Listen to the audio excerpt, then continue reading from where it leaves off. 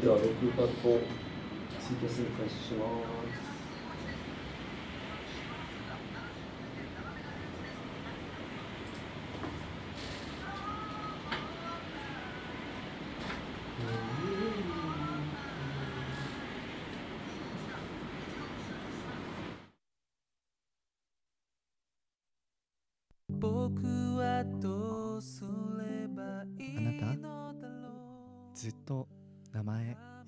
ますよ。Jesus calling you. 皆さん元気ですか？時刻は午後6時を回りました。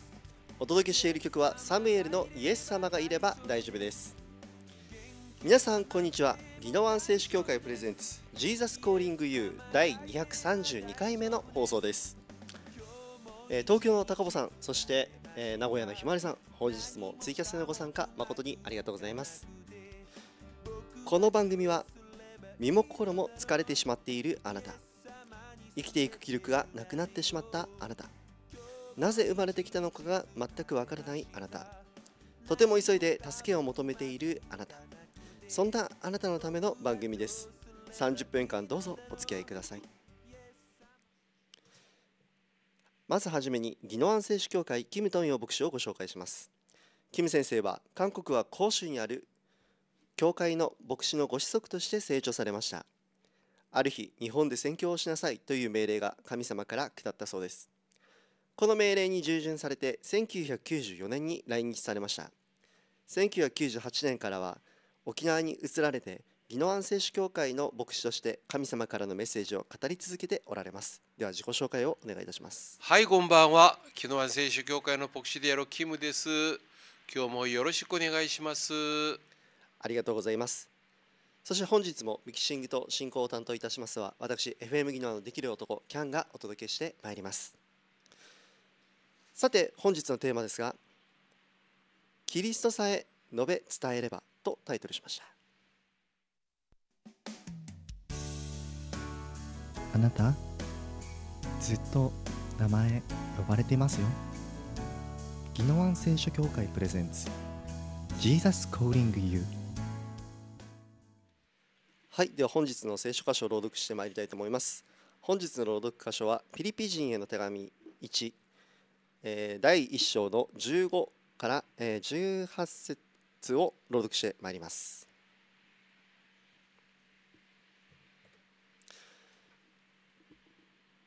人々の中には妬みや争いからキリストを述べ伝える者もいますが善意からする者もいます。ある人たちは私が福音を弁償するために立てられていることを知り愛を持ってキリストを伝えていますが他の人たちは党派心からキリストを述べ伝えており純粋な動機からではありません。鎖につながれている私をさらに苦しめるつもりなのです。しかしそれが何だというのでしょう？見せかけであれ真実であれあらゆる仕方でキリストが述べ伝えられているのですから私はそのことを喜んでいます。そうです。これからも喜ぶでしょう。ではキム先生お願いいたします。はい、こんばんは。えー今日はえー一章の中5節から中8節の御言葉を読みました。何回も言いますけど、このパウロがピリピへの手紙を送る、その手紙を書くのはホテルで書くのではなく、ローマの牢の中で書いたと思います。その、えー本当に大変苦しんでいるいろいろな状況の中で手紙を送りますがその手紙を通して今日主の御言葉を主の福音を述べ伝えるのに非常に残念ですけど、えー妬みや競争の心を持ってやるとその話が記されてますね。パウロが話す働き人は理性の1割の教師ではありません。彼らは主にある兄弟たちです。それで彼らは大胆に福音を熱心に伝える。ある人はパウロがもう牢の中に苦労しているから本当に彼を思い彼のためにまた私も頑張らないとイエス・キリストの福音を伝えないという方もいますがある方はもう競争心を持ってパウロが示す否定的なことであるそのパウロを苦しめるために福音を力尽くして伝えるという。私たちはよくいろいろ勝ち負けがある試合をよく見ます。正義のもって本当に競争するというのはお互いにレベルを上げたりまたお互いに本当に励ましまた慰めたりする素晴らしい光景を見ることができます。ところが負けるのが嫌いでただ競争する妬みをするという妬みを起こして何とかしてもあいつには勝たないといけないんだもう頑張ろう力を尽くそうという時それを喜ばれないということですね。知恵を持って競争とするのは勝利をする時本当に負けた相手を慰めることができ負けた人には勝利をした彼を称賛することができ祝福することができる。お互いに交わりができまたその全てを喜び楽しむことができるということです。福音は十字架の謙遜と規制を語りますが福音を語る人は自分を規制するより自分のことを自慢したり誇るそのような働きをする人もいるということです。パウロを苦しませるために私はもっとパウロより働くんだこんな能力があるんだということを示すために伝えるそれは福音と伝えるその矛盾さがそこに混じっているのを私たちは見ることができます。福音のために失われた魂の救いのために神様の教会のためにと叫んで神の愛を持って使えろとする時私の動機と目的が本当に正しいのかを吟味し確認する必要があるということですね。私たちは討論者として本当にお互いに励まし助け合い支えていくのか妬みと悪い感情を持っているのかそれを見極めるということです。私たちは物事をできれば本当にいろいろなルールを決めて体系的に理解して適用しようとします。それで原則とか基準が必要でありそれを実質的に私たちの生活に適用する時正しく適用されないといろいろな無理が生じます自分が言うことと自分が適用していくののズレがどんどんどんどん大きくなるほどそのことは非常に疑いがありまた心配をかけることがあるということです。私たちが神様について語る時に気をつける必要があります神様は愛の神様であるという神様を私たちは本当に理解しまた学ぶために聖書を勉強したりもしは進学というもっと深い学びも必要ですしかし神様を私たちの人間の考えや思いや分析私たちがその作ったその体系の中に閉じ込むことはできないということです。ですから神子自身の働きについて考える時には私たちの限り制限性があるのを認めるということです。神様は私たちを一人子を与えるほど愛してくださる神様でありまた罪を憎む神様でもあります。それで悪人には罰を与え良い人には恵みと祝福を与えてくださることは私たちはよく覚えています。ところが具体的な適用に入る時は私たちは「えー!」という時があるということです。その理由は原則の適用が一面に偏っている時とか物事の両面性複合性によって適用に配慮があるかないかそれによっていろいろ原則が無視されるように感じる時があるということです。今日の本文は私たちがよく考えるべき質問であり答えでもあります。パウロをネタで福音を述べ伝えますがその働きの実りがあるかないかと思う時パウロはその動機と目的が一致しないけれど神様は祝福してくださり実りを与えてくださるということです。もちろん神様はさっきにも何回も話したように悪い時と悪い目的を喜ぶことではありません。しかし使える人の心の中にある考えが悪いからといってその主の御言葉が力を失って何もできないということではないということです。その理由は神の御言葉が持っている力と権威は私たちのその弱さをはるかに超えるということです。その力と権威は私の弱さによって左右されるものではないということです。ですから私たちはいろいろ足りないもの足りなさを感じ本当にいろいろ驚いているものを感じます。しかしパウロは妬みと紛争によって福音を伝える働き人の考えと姿勢を認めないですが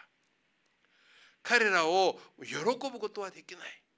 しかし彼らが主の御言葉を述べ伝えることによって主の福音が広がり主の恵みが広がることを受け入れるということです。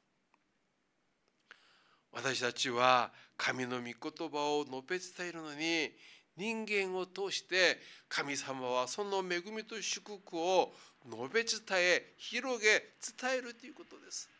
すなわち福音の効果が人間の品格などによって左右されることはないということです。もちろん私たちがもっと品性が本当に成熟してもっと主の愛を示すのにふさわしい時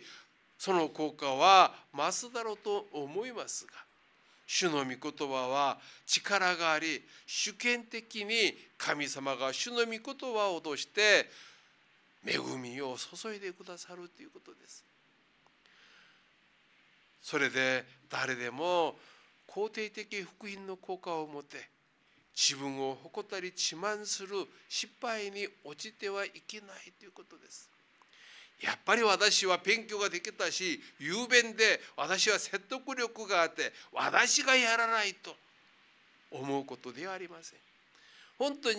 選挙の愚かさというのは私たちが本当に力がなく無能であり何もできない私を通してイエス・キリストの福音が述べ伝えられる時主がその働きを用いてくださり祝福してくださるということです。それは神様の主権的な恵みによって福音が罪人の心に届きその心の中で刻まれるということです父に私たちがイエス・キリストを信じて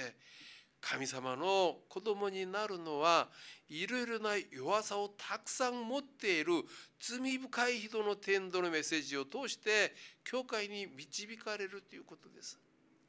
完璧な人が完全な人が私に来て私を見てごらん私はこうだよということで私がイエス・キリストを信じるのではなく私も実はこんなに弱いものなんですが主の愛を受けて主の恵みを受けて主の御言葉を述べ伝えることによってその福音を述べ伝える時私たちはその福音によって導かれ救いを得ているということです。もちろんさっきも話したように述べ伝えると品性と人格が優れていると本当に福音によって磨かれるともっと大切なことであり私たちの成長が必要であります。しかし本文の教えは人よりその人が述べ伝えるの福音がその主の御言葉が力があるということです命の力があるということです私が何とか私が説得したからじゃなくて主の御言葉は力があり鋭い歯のように私たちの心を主の御言葉によって指すという示すということです。それでイザヤ書の55章ではそのように私の口から出る私の言葉も私のところに虚しく帰っては来ることはない。それは私が望むことを成し遂げ私が言い送ったことを成功させる。主の御言葉が届くところに虚しいことがないということです。私ではありません。それで不純な兄弟の働きについてパオロの評価はどうでしょう？パオロは福音の活動する中でたくさんの妨害者敵と言えるような人に会います彼は本当に敵から迫害を受けて本当に死ぬほど本当に危機がありましたしかしパオロは主の御言葉を述べ伝える彼らを敵のように扱うことは一切ありません。キリストが伝えることで本当に彼は私の登録者であり仲間であると共に喜んでいるのを見ます。パウロにはイエス・キリストの福音を変質してキリストを述べ伝ない人を本当に敵対するものですがキリストの福音を述べ伝えるのは全てが仲間である登録者であるということですそれで彼は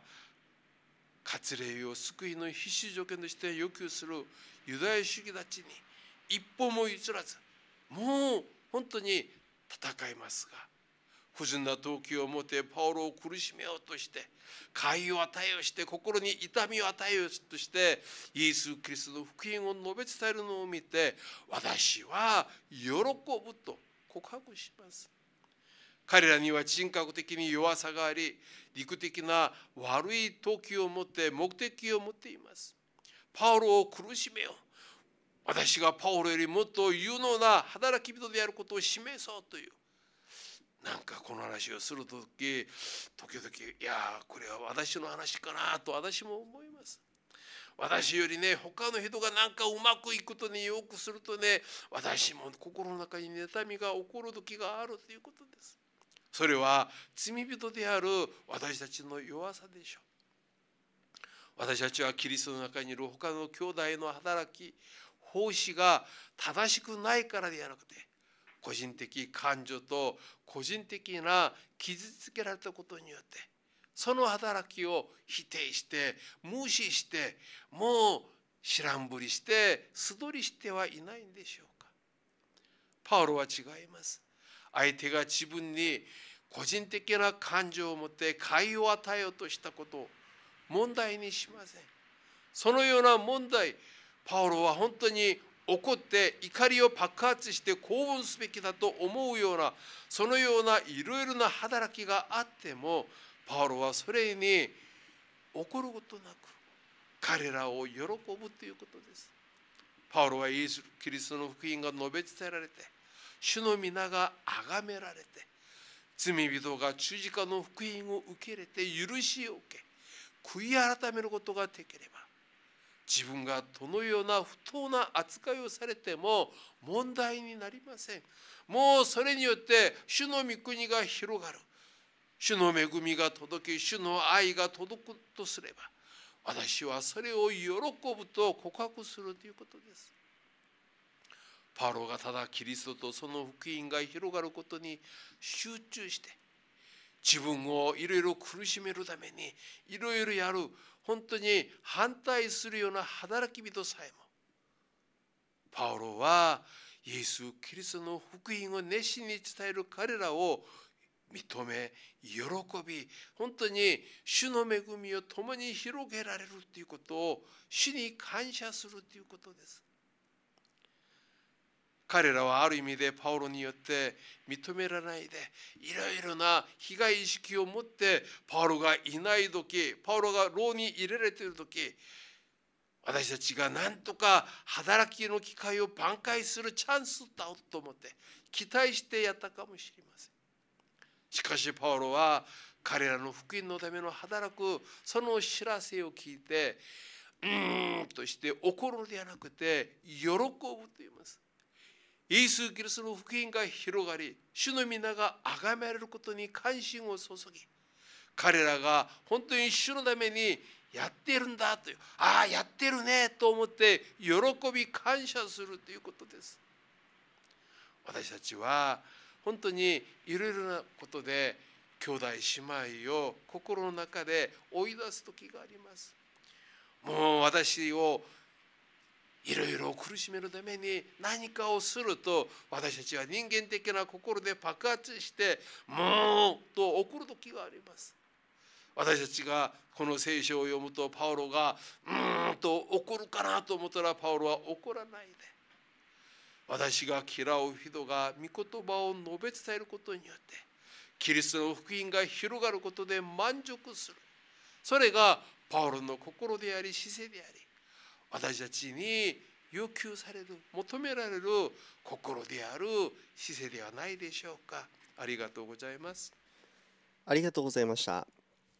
えー本日のお話を聞いての感想なんですけど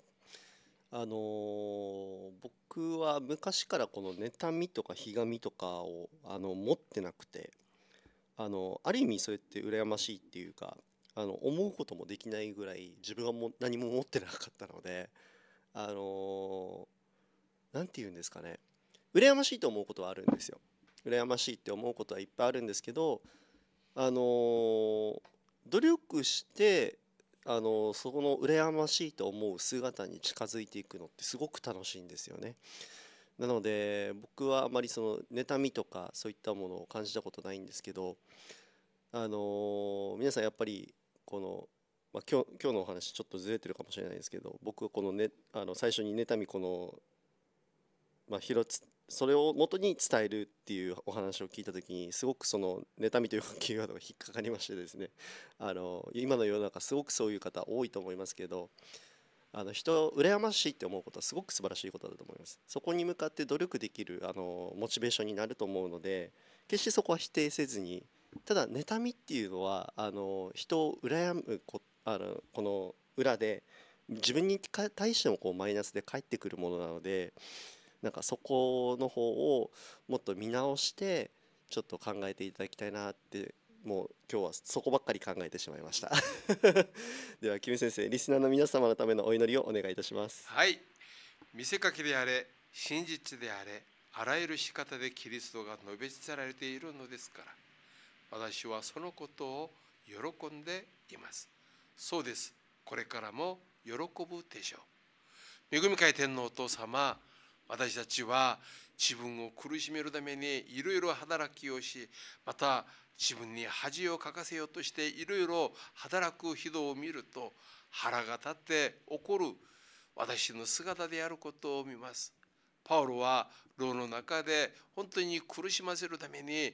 イエス・キリストの愛を伝える彼らを認め喜びます主よ私たちは主の恵みが述べ伝えるところに主の愛が述べ伝えるところに私の喜びが満ち溢れますようにまた私は他の人々を悪の心で感情の心で見るのではなくて主の恵みを持って愛を持って受け入れ見ることができますように助けてください。イエス・キスの皆によってお祈りします。アメン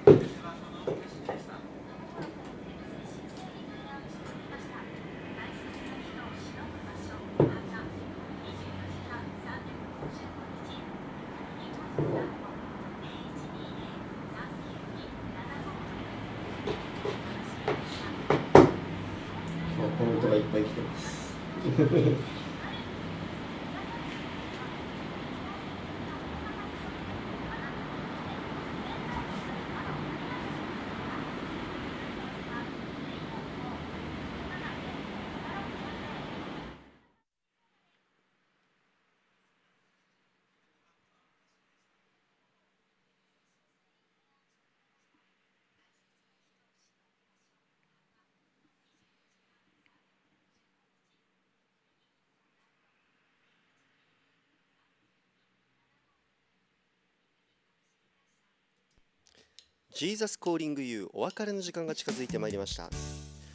えー東京の高保さん名古屋のひまわりさんそして、えー、じゅんじゅんさん今日はじゅんじゅんさんもコメントいただいてましたね。はい、えーツイキャスのご参加誠にありがとうございます。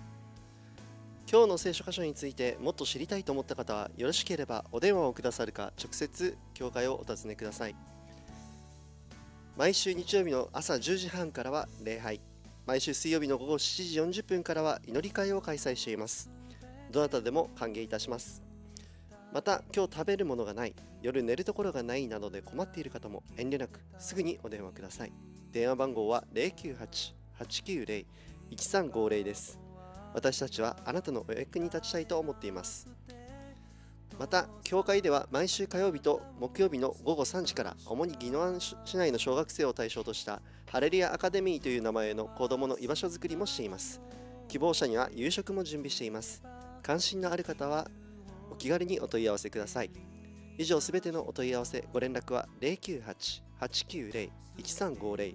098-890-1350宜野湾聖主教会までお願いいたします。この番組はあなたのエンドライフにもっと寄り添いたい。三国グループの提供でお送りいたしました。メッセンジャーは宜野湾聖主教会キムトンヨ牧師ミキサーと進行は私 FM 宜野湾のできる男キャンがお届けしてまいりました。また来週水曜日の午後6時にお会いいたしましょう。ではヘブライ語で神様の臨在を意味する言葉シェキナーでお別れします。シェキナー。